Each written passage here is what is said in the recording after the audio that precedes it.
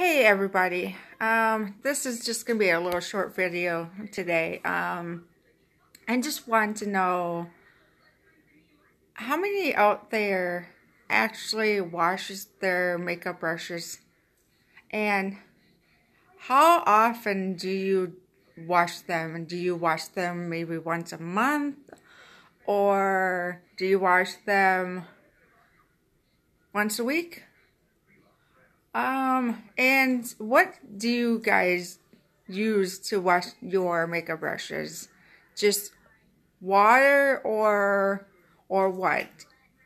I'm just curious. Um, if you can leave your comments in the comment section after this video, um, I want to see how everybody does their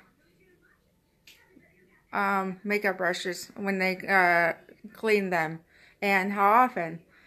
Um, I will show you what I use. And the best thing for that I think to um, wash their makeup brushes is um, a gentle baby shampoo.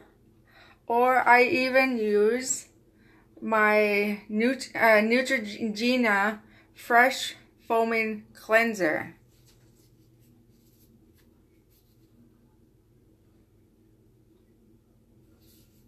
Sorry, I know it's a little backwards. But, um, yeah, I just, just wanted to know what everybody uses and how often they wash their makeup brushes and sponges.